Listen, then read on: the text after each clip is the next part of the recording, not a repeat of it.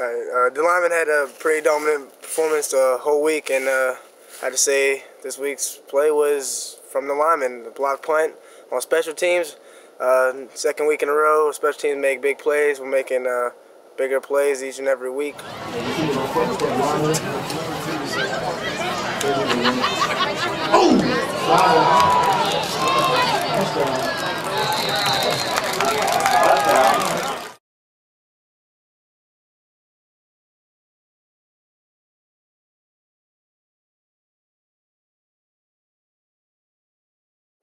People often look at special teams, but they're a big factor of the game. So props to the lineman on the block punt.